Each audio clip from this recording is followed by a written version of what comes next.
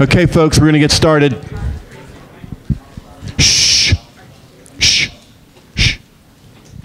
Okay, um, I'll just make the usual administrative announcements before I turn things over. Uh, please remember to throw away your trash after uh, the brown bag today. Please remember to recycle anything that can be recycled. Please remember to uh, silence your cell phone. And uh, if you're taking the course associated with the brown bag, the sign up sheet is uh, over there on the podium. Um, uh, I'll make a plug for next week's uh, brown bag, which are going to be some uh, researchers from Copenhagen are going to be over here uh, through the auspices of our good friend Jay Bolter. Jay's not here to make a pitch for it, is he? No, we're Jay free. Okay. Um, so I think that's it for announcements. Uh, I'm going to turn things over to Rahul, who's going to talk about Nerdfest. Earthfest. Nerdfest. Nerdfest. Okay. I guess my hearing is uh, gone too. Good afternoon, everyone. I'm Rahul Basole. I'm a faculty member in the School of Interactive Computing and a member of the visualization group. Two of my uh, colleagues are not here today uh, John Stasko and Alex Endert. They're out in the Midwest participating in a uh, national workshop. But it's really a pleasure for me to uh, present to you a number of papers and posters that we'll be presenting at VIS. VIS is the leading, the flagship conference of the visualization community. Um, it's been hosted for a number of years, and uh, it's back in the US after a stint in Paris last year. It actually turns out that Georgia Tech has a fantastic uh, participation in VIS, and I tried to put down a few numbers uh, on, on how we are represented. So VIS is actually three conferences packed together. It's about InfoVis, which focuses on information visualization. Then there's VAST, which focuses on visual analytics, science, and technology. And there's also SciVis, which is uh, scientific visualization. And we have participation in all three of these conferences. Um, we'll be heading up to the windy city of Chicago. And it turns out that we have a fantastic um, number of people in the conference. So we have two program committee organizers, that's John and Alex. We also have Polo Chau, who is on the program committee of the uh, Exploring Graph at Scale workshop that Dr. Bader, the chair of uh, CSE, is chairing. Uh, we have eight papers. We have four posters, two workshops, Business Vis and Exploring Graph at Scale. And I really did a rough estimate of maybe 30 plus people. Although when I just talked to Dr. Foley, I think there might be maybe closer to 40 or 50 people participating at this conference. Um, so it's going to be a fantastic venue for Georgia Tech. And um, what we'll be doing today is we'll be previewing a few of the talks um, that we will have at the conference. So what we're going to do is there's going to be eight presentations.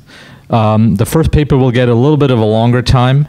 Uh, it's a full paper. The other ones we'll try to shorten up. Um, so we'll have papers and posters. What you'll see here is a, is a nice uh, touchscreen display.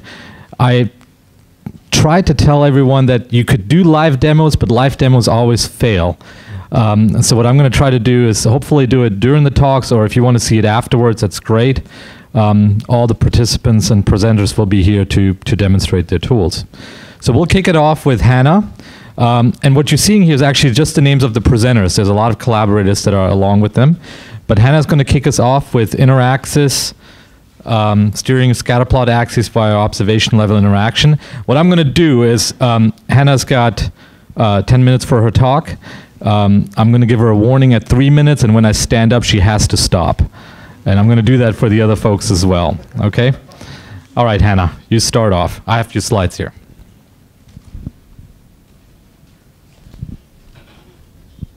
Hi, I'm Hannah Kim. Uh, thank you for the introduction, uh, uh, for introducing me and also warning me. So um, uh, my paper is called InterAxis, uh, which is short for Interactive Axis, uh, which is a novel visual analytics technique that steers plot axis using observation level interaction.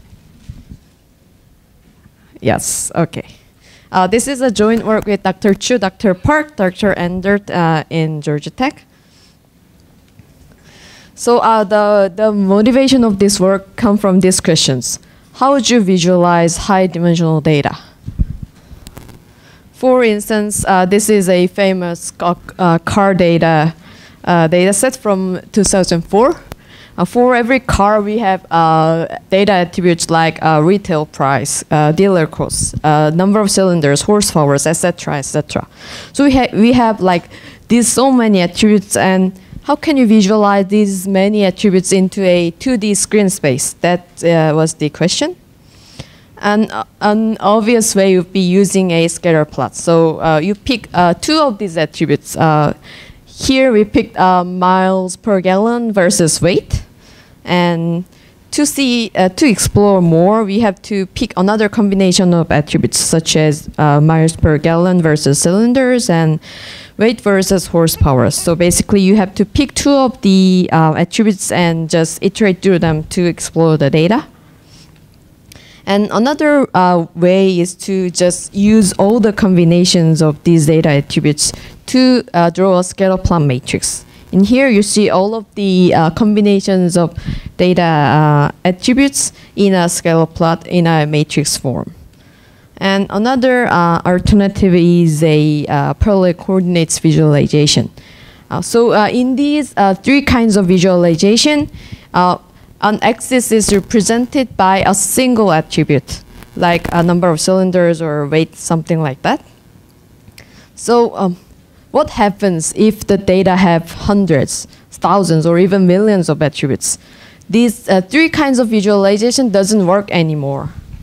So um, one solution is a uh, dimension reduction technique. So for instance, we have uh, principal component analysis, multidimensional scaling, uh, generative uh, topographic mapping, etc., etc.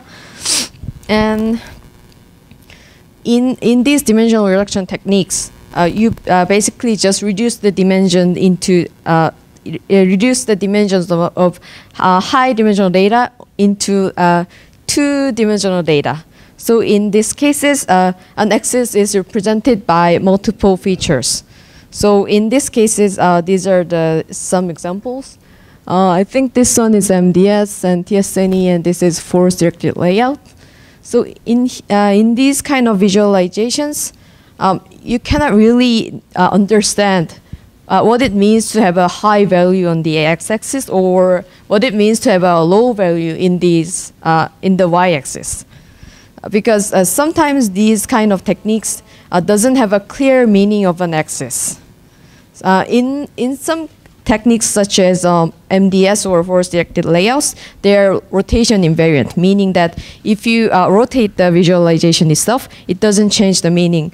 So, which means that the axis is not defined at all in those kind of visualizations. So the two question here is that how can we interpret the x and y axis in these scenarios? And can we even interact with them? So that those are the questions we try to answer in this paper. So uh, we wanted to uh, create a technique so that scatter plots are interpretable and also interactive. So um, we, uh, for an axis, we use this bar chart so, so a, a bar chart represents an axis so that we could really interpret the, what's the meaning of the axis. So for instance, uh, this, uh, this y-axis is represented by a linear combination of um, this wagon, uh, all-wheel drive, rear-wheel drive, and sports car, uh, the linear combination of these attributes. So now that we could interpret an axis using this bar chart, uh, we introduced uh, two kind of observation level interaction. So uh, what, what's an observation level interaction? So in traditional uh, dimension reduction techniques, um, a user can interact with the model by just changing the parameters. For instance, um, say in the force-directed layout, you just change the, uh, the value of uh, force coefficient and see what's the difference between before and after. But in here, the user can uh, interact with the uh, visualization object itself. So this uh, observation level interaction reflects the user's intent uh, directly into the visualization. So uh, two kinds of observation level interaction we are providing is data level interaction and feature level interaction. So the the first one is uh, data level interaction, meaning that users move those uh, data items around or drag and drag, uh, drop those data points uh, in order to find the data features uh, that can uh, quantify this, their preferences onto this axis. And feature level interaction is that the user can directly manipulate the features by just moving or increasing or decreasing these uh, bars on the uh, bar chart. So uh, these two kinds of interactions could steer the Scatterplot axis so that user could make a visualization that they want. So um, I will just demo the uh, tool.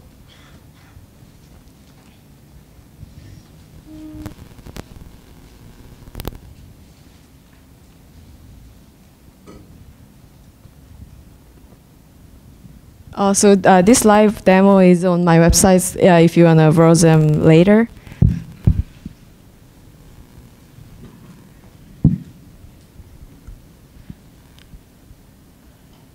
Okay. Uh, can you see the letters here?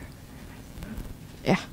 So um, this uh, uh, this tool is consists of three views basically. The middle one is the normal scatter plot and two uh, axis is represented by these two green boxes and one uh, bar chart. So uh, these two green boxes and uh, bar chart represent x-axis, and those two green boxes and that uh, bar chart represents y-axis. And if you uh, mouse over these data items, it just the right pane shows the details of the data items highlighted.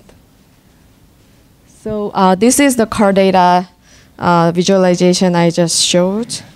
And let's uh, see, oh, yeah, let's say we are shopping for a car. And I want to find what kind of data, uh, data attributes I care. So I, I know what kind of car I like, and I kind of I, I know what kind of car I don't like, but I don't know what kind of data attributes I'm looking for. So I drag these. Uh, let's say I like Jaguar so I put this in, in this uh, high Dropbox, and let's say I don't like this Pontiac car, so I drop this into this box.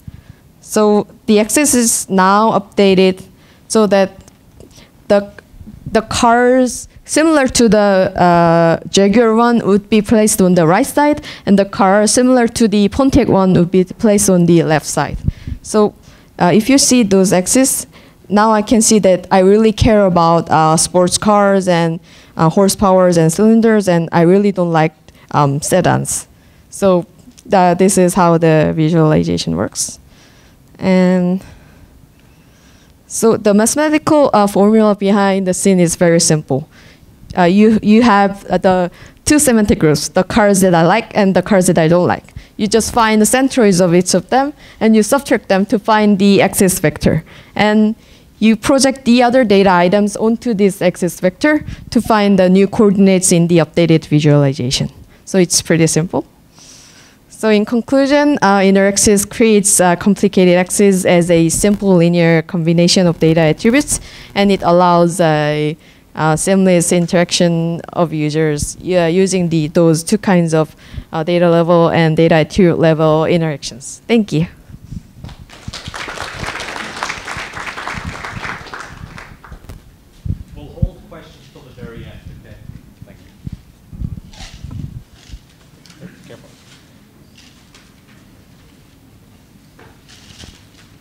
HP. I guess I killed some of these slides.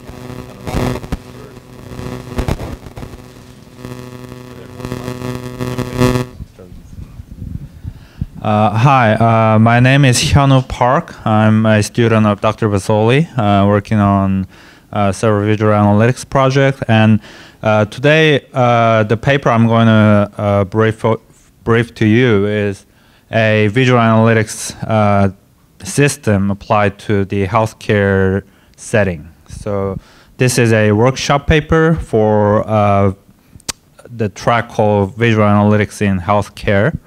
And as with other uh, uh, development process, we started with collecting design requirements from clinicians and the field experts. And then uh, they have basically three groups of needs about visualizing and understanding the, their data. So the data is basically uh, a number of patients going through uh, emergency department uh, at, at the Children's Hospital of Atlanta. Uh, and so the three, three requirements were first is that they want to see a good visual summary of uh, how well they are doing in terms of uh, improving patients' health status. And then based on that performance measures, they want to categorize patients. So uh, who, who got improved and who didn't got, get improved, etc. And that is one requirement. And another requirement was that they want to compare those defined cohorts and then what cares was were given to the improved patient versus which type of activity was done to the worsened patient. So that comparison is another requirement. And the uh, last requirement was that they want to see their data in various uh, visual representations, including the traditional table view. So they are very familiar with the table view like in Excel so that they can sort by uh, performance metrics or other patient characteristics like age or gender. So let me just quickly go through the each of the slides. So this is our dashboard uh, where the, the investigator will land on uh, at the first uh, at the in the beginning, and uh, we identify six uh, key performance metrics for the patient population, and then they can cross filter across different dimensions, and then they dynamically define uh, interested cohorts using these cross filters, so using this dashboard. And then based on that defined cohorts, they can view the patients uh, in a table form or the list of providers who, who has given care to those patients, and then they can basically rank providers based on the improvement uh, uh, they made and uh, how, how much they charged uh, for each type of cohorts, etc. So you can see the overall performance metric for uh, a number of provider or a number of activities. And then we provide uh, uh, several other visual representations, including tree maps, which highlights the uh, proportion of composition of activities done to uh, a set of patients. So we can quickly identify uh, which activities are most commonly done and how well those activities are associated with a certain type of outcome. And obviously we have scatter plot, which has very intuitive meaning to uh, normal clinicians. And since we are uh, this, the nature of this data is uh, a sequence of event, uh, we are also interested in not only uh, a single activity associated with a certain outcome, we are interested in a series of activities and how a certain, let's say, pieces of sequences are associated with certain outcome, better or worse outcome, or more money or less money. So we use the Sankey diagram to uh, visualize the most common patterns in, uh, in the care process for a certain predefined cohort. And then we also allow the cross cohort comparison uh, using the same dashboard interface so that uh, investigator can compare two cohorts efficiently. And then uh, the last one is uh, kind of challenging and new type of investigation we have. So uh, they established a care flow guideline, and then that is kind of normative guideline that uh, in which uh, they should provide care uh, based on that. So uh, we are trying to visualize how well they are uh, they are abiding by them themselves to the documented care uh, process, and then which part breaks down and where our anomalies arise, and we are helping uh, them identify those uh, no abnormal activities based on the pre-documented guidelines. Yeah, thank you.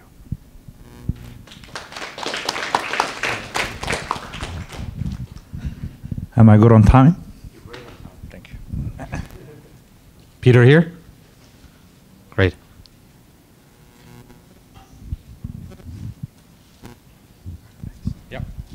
Okay, so I'm Peter Polack. I'm working with Dr. Chau and also Dr. Basole and Brian and Shang for Georgia Tech.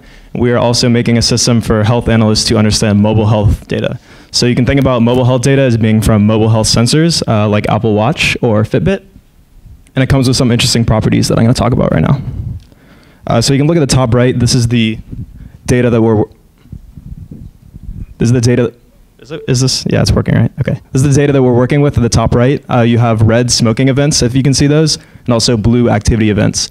Uh, so I thought they was going to come up step by step, but some of the properties that we're working with with this mHealth data is temporality, of course. So this is very dense time series data. Uh, we also have high dimensionality. So when we're working with multiple sensors, we also have multiple participants with, with each of these sensors. Uh, so you can imagine how, as we scale up to more participants, this gets increasingly complex. Uh, and both of these things together kind of turn into high volume. So we need to come up with the algorithms to support the amount of data that we're working with. Uh, also, something interesting about this data is high uncertainty. Uh, so where we're working with self-reports, maybe we have an abstinent smoker and we want to know whether or not they've actually smoked. You can understand that there's some un uncertainty involved in this. We also have inferred variables uh, like probability of stress, uh, and there's some uncertainty that we need to represent in this as well. So moving on, we have this event data. We've discretized these quantitative values into raw events. And what we do next is we take these events and we mine them for frequent sequences to find the frequent patterns across. Is this working? Okay, thanks. Yeah, okay, it's like very close. Okay. Uh, the frequent sequences across multiple days, across multiple participants. Uh, so to introduce the interface, uh, we have this right here. You can see on the bottom, we have our events occurring across six participants over here. And what we do is we take the frequent sequences from them and allow the user to choose which ones they're interested in. Uh, so I might not have time to explain the scatter plot, but the idea is that it's a distribution of frequencies uh, based on whether they're happening multiple times a day, uh, frequently in the day, or rarely in the day, but across multiple days. So when we allow the user to select one of these frequent sequences, we're looking at the sequences of events that happen before and after. Uh, so what we're doing is we're taking this temporal data and turning it into something chronological so we can think about order instead of just trends in the data. So of course we use frequent sequence mining to do this, uh, which is nice because we get some entry points for the data. Uh, we get some very interesting patterns that are occurring across all participants that we can start to work with uh, right when the interface loads. And we can also represent frequencies frequent sequences visually uh, and think about how events are separated in terms of time or how sequences are separated in terms of time. So what we see over here in this diagram is an example of sequence alignment. Uh, so we're taking a sequence and we're specifying it and seeing what's happening before and after. Uh, so this is kind of a follow-up to event alignment, where instead of just selecting a specific event and seeing what's before and after it, we're selecting a sequence and seeing those sequences that are before and after. So what's interesting about this is you heard about cohort exploration, or you heard about cohorts a little bit before, uh, but what this allows you to do is define multiple sequences that actually define a specific cohort of participants. So you can think about multiple participants all having a smoking event. Uh, then you can think about a smaller subset of those participants having smoking event followed by high stress followed by high activity. Uh, so for example, you can append multiple sequences to each other uh, to define a more specific query or subset of these participants. And we can also see the sequence of events that happen in between them by clicking that plus. Uh, so that kind of wraps up what we've done so far. Uh, there's still a lot, lot of work to be done, uh, specifically in terms of event discretization. So I talked a little bit about the event uncertainty and the variability, so we need some more flexibility in how these events are defined. Uh, right now, we're doing thresholds over the raw sensor data to determine this is a low event, this is a medium event, this is a high event in terms of stress or activity, uh, but we need health analysts to be able to define them themselves. So you can think about looking at trends, whether or not a, a, value is rising or falling, or in terms of motifs, which is whether or not a pattern is happening over and over again over time in the quantitative data. Uh, you can also think about combining multiple data streams into one. For example, we might want a high data stream in one area, but we might also want to look at a data stream that's low in another area at the same time. There's a challenge visually also to think about. Uh, of course, you're going to run out of colors and shapes eventually, so how are you going to get all these data streams for all these participants in the same area? Uh, so I think I'm good on time. Yeah. That's everything.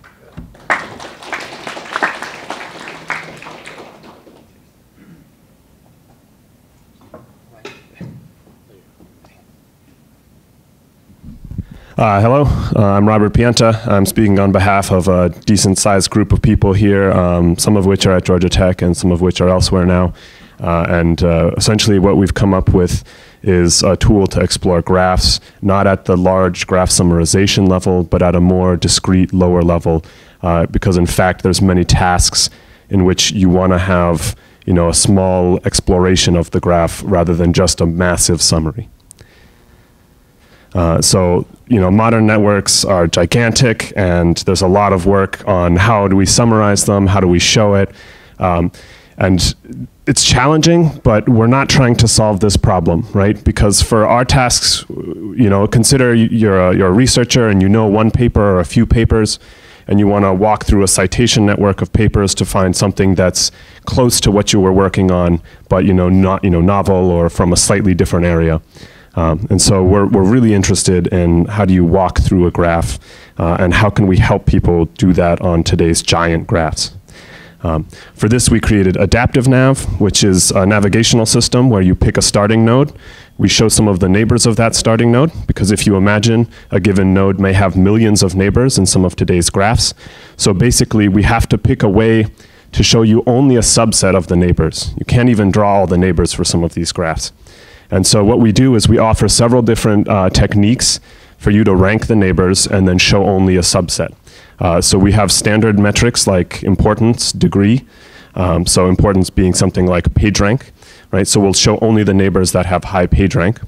But then in this paper, we also come up with uh, a method for showing surprising nodes and subjectively interesting nodes based on what you've already clicked on. Uh, so there's several parts to our visualization. Uh, the part on the left, you know, is the conventional uh, list view uh, with some of the details. Uh, the middle part is what you see as you walk through the graph. And there's some color coding there, which I'll talk about. And then um, on the right, there's basically an individual summarization pane and a user profile summarization pane. So the idea being that maybe you start with uh, a single paper you know, or in this case it's movies. Start with a single movie you know, uh, and we show some of the neighbors of that movie. Uh, it starts off by showing the important ones. Um, but as you click more nodes and sort of expand through this graph, uh, we build up a profile of what you've looked at. And we use that profile to recommend things based on any common features that the things you've clicked on had right? So if, if you're looking at uh, certain papers and only papers from a certain conference are things you're clicking on, uh, we'll be able to, to detect that and start ranking new nodes by that. And so as you click, we lead you towards things um, in, in the direction that, uh, that you are going. Um, and then the color coding here um, combines both subjective user interest, so this, this we're modeling your interests as you search through things, as well as some surprisingness. And I can't get into too many of the technical details on how we measure surprisingness, but essentially uh, we look at that node's place in a distribution compared to the global distribution, um, and things that vary a lot from the global distribution, you'll, you'll tend to find surprising. Um, and so the whole idea here is that we show only a subset of the graph, but the right subset. And by allowing people to pick the subset, whether through importance or just by measuring what they've clicked on so far, uh, we can turn you know a very large hairball graph. Oh, I guess this doesn't have an animation. Well, imagine you know you have a large hairball graph, and you can turn it into um, uh, a smaller, uh, more coherent graph that's tuned to what you're interested in as you explore it. Uh, that's that's it. Um, if you have any questions, ask me afterwards. I'll be excited to talk about it.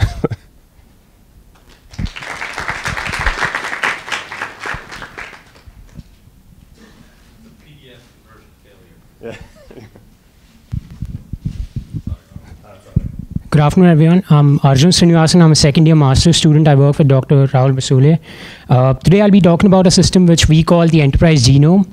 It's basically a visualization system which lets users gain a macro and micro level understanding of uh, companies and their alliances over time. Uh, a little about the data for this demo. We're using data from the Thomson Reuters SDC platform. It has 155 firms, about 11,500 alliances over a period of 25 years. Further, each alliance can be one or more of seven types. It can be between companies from different nations, different market segments, or uh, even across more than two companies. Uh, I'll just show a quick demo of the system as it is today.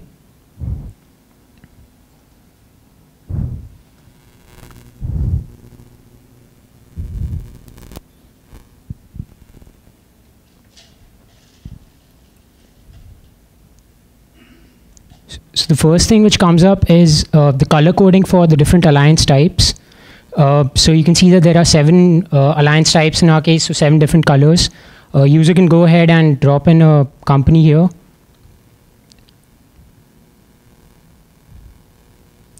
So each row in this, uh, each column in this visualization is one relationship or alliance, and each row is one type of alliance.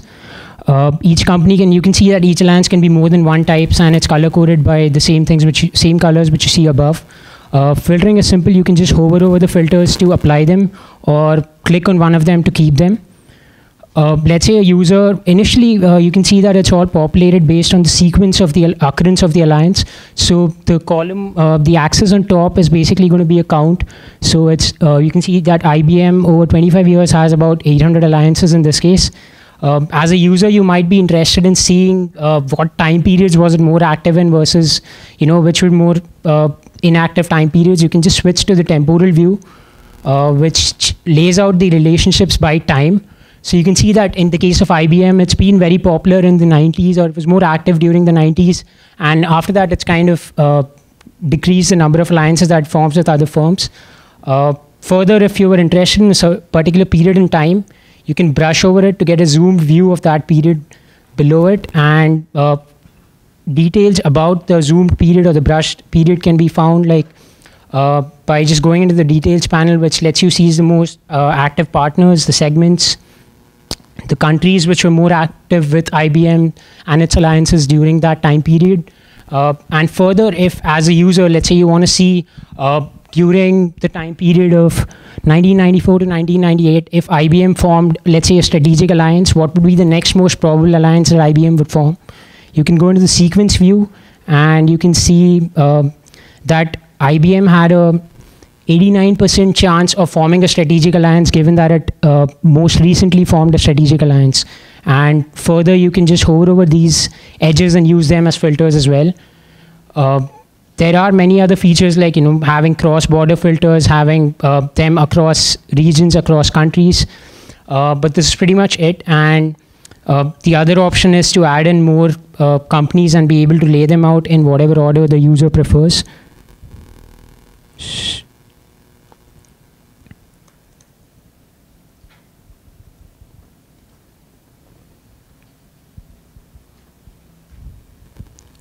So that's what we have today. Thank you.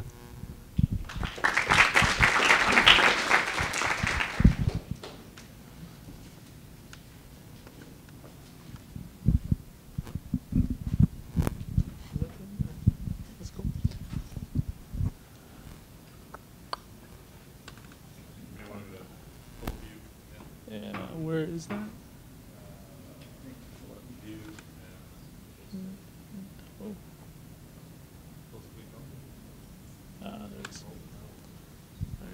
All Hi, everyone. Um, I'm Andrew. I worked with Chad Romick and John last year to take Dust and Magnet and put it on uh, this this fancy toy. Um, so it's it's just Dust and Magnet on a touchscreen, and we uh, our main mission was to try to explore what it would be like to take a system originally designed for a uh, keyboard and mouse kind of environment and then put it onto a screen where you can have say multiple people using it or you know like one person multiple touch points so the original system uh, for people that aren't familiar of dust and Magnet is uh, a way to visualize multivariate data sets where the the squares on the screen uh, are these things right here are the magnets. They'll be data attributes, and the dots on the screen are dust, which represent the um, the actual data themselves, like a row in a table. So depending on uh, the values of that dust in the uh, table, they'll be pu- pulled uh, more closer to one magnet or another. Let's see. So um, yeah, the the old system you know, looks like it was designed 10 years ago, you know, with menus and uh, lots of different windows. So um, uh, our mission was to take advantage of the touchscreen, um, simplify the interface, make it more intuitive and uh, interactive, and also allow collaboration. So let's see. The first thing we did was uh, move it from multiple windows to a single screen. Uh, as you can, I guess, oh, Okay, so uh, you, you, know it's either here or on the slides, but um, the, the, single screen uh, we wanted to make the visualization itself uh, as large as possible. So we had collapsible menus on the side that you can drag in and out, um, and then like hide features inside the display itself. Um, resizing magnets is a pinch gesture rather than you know like a menu option on the side. Uh, see, moving multiple magnets is possible as well because it's a touchscreen, so you just drag them around, or multiple people can work on it at the same time. And then, oh, okay. Uh, removing magnets involves just dragging it into the bottom right corner. and Okay, and then the uh, the other main thing we did was in the old system, uh, the dust would only move when you were dragging or like moving around a magnet. So if you wanted things to settle into like an equilibrium state, you would actually have to click and drag and kind of like shake a magnet until all the dust settled. Uh, what we did instead to make it more interactive was to have the dust constantly moving, always trying to go to an equilibrium state which would mean that it would tend to uh, cluster up into groups and like block. You know, you would uh, you wouldn't be able to see all the uh, data all at once, just like here where they're all clustered in the middle. So if you tap anywhere on the screen that's empty, um, they'll start push pulling each other apart, and that way they'll separate a little bit, and then um, you know you could toggle by tapping on the screen again. And yeah, and that's that's pretty much it. Uh, we identified some useful features that uh, would be nice to have in the system uh, that were present either in the old uh, old visualization or like just like during our own testing. One of them obviously is a detail view where you can actually see what the uh, data is in some kind of table, and um, the ability to do inverse magnets would be useful because if you paired an inverse magnet with the regular magnet, uh, that would allow you to form a kind of axis and then actually be able to plot out uh, data that way with other uh, variables. All right, thank you.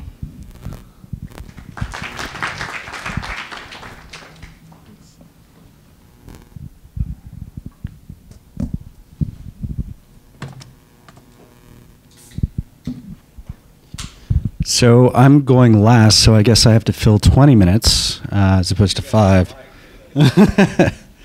uh, so I, I, my name is Alex Godwin. Uh, I work in the uh, vis, uh, the Information Interfaces Lab under John Stasko. I'm a third year PhD student in the Human Centered Computing program. I'm going to be talking to you about Space Sketch. Uh, we're also going to be showing a demo of the Dust and Magnets and Space Sketch after. So if you want to take a look at them, we have plenty of time.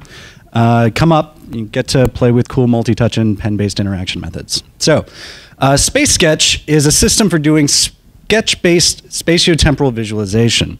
I'm going to tell you a little bit about what that means and give you a quick demo up here as well. But first, I want to see a quick show of hands if you are a programmer or if you can do scripting, you know coding in some way. So programmers, raise your hands.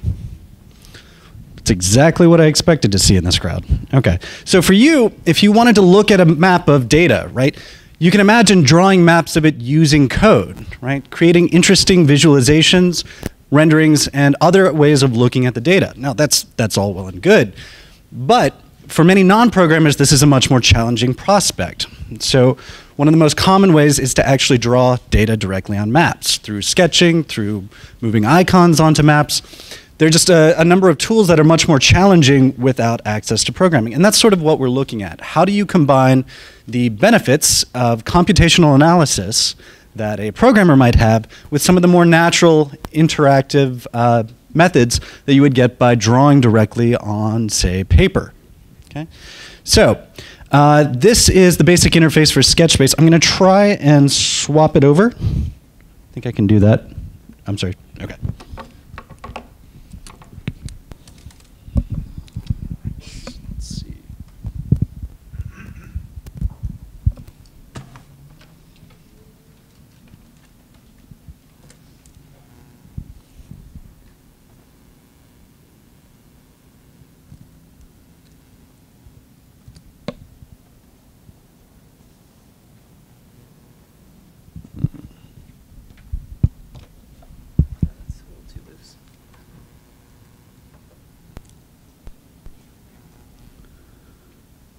Okay, here we go. So here you can see the area around Atlanta, um, specifically Midtown. And uh, if we wanted to look at some sort of data, say uh, crime for the last year, one of the ways that we could do that is to be is to drop points directly for each of the crimes that have occurred. Now, uh, one of the things that you can immediately see is this is actually kind of challenging to make plans around, to, to reason about. You see lots of dots, but can you really tell the difference between areas that have a lot of congestion versus areas that only have some congestion, right? So what we're doing is providing a sketch-based way of interacting with that data. So if you wanted to, for example, uh, let's say, get from Georgia Tech's campus to Little Five, uh, you would just draw a line directly from one to the other. And what the system actually does is it interprets the line that you've drawn and uses it to create a shortest path, and then shows you the information for the crime that would have occurred along that line. Then if you wanted to make an annotation, uh, you can do that as well, or use the eraser to get rid of it. Uh, if you wanted to then start uh, trying to figure out which regions might have more or fewer crimes, you just sketch a boundary around it, and then you can compare those to each other by the relative shading. Okay, so fairly straightforward sketch-based interaction methods. Um, again, if you wanted to explore the region, uh, around, say, Little Five and see just how much crime occurs in each of the walking paths, uh, you can do that as well, and the system will fill in the details for you. Uh, so again, uh, sketch-based methods for non-programmers to explore spatiotemporal data. And come see me if you want to play around with this. If you want to check out how interesting your neighborhood is in terms of crime data. Uh, yeah, so we'll be here. Thanks.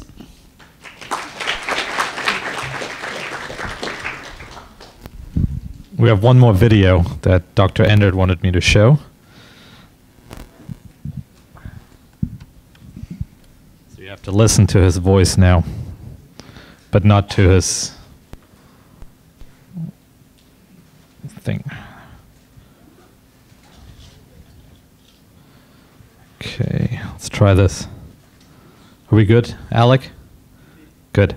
In this video, we introduce a mixed initiative visual analytics system called the Active Data Environment. Active Data is a spatial workspace created to support analysis via task recommendations invoked by inferences on user interactions within the workspace. To demonstrate, we use the VAST Challenge 2014 dataset about a fictitious kidnapping. Here we begin a new workspace by entering an initial seed, GasTech, in green. The Active Data Assistant attempts to infer the user's activity and executes the related task models.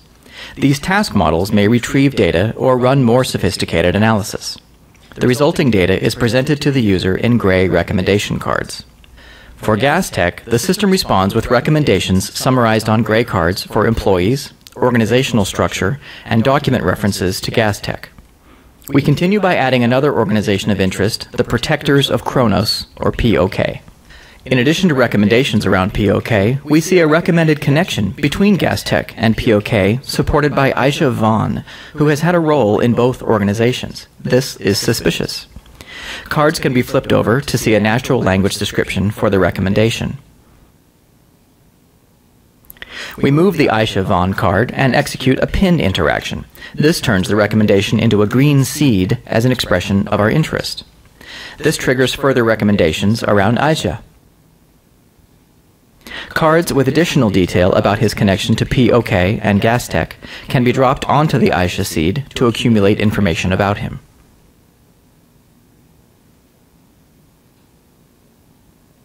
Cards visualizing Aisha's car movement warrant further investigation, especially given his movement at night. In addition to recommendations surfacing in the workspace, Active Data delivers recommendations which are geospatial in nature to Google Earth automatically. Each recommendation is a layer which can be used in combination with the existing Kronos points of interest layer. We hide Aja's car movements generally to focus on his movement at night. We see he visits the homes of two missing Gastech employees, Ada and Willem. We can pin these locations to our workspace from within Google Earth. These two locations trigger recommendations. We dismiss cards for nearby places which aren't important to us.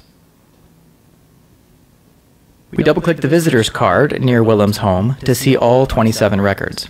In addition to Aja, we see a new suspect, Hennie, who visits the home of Willem. From Excel, we can right-click and pin to our workspace.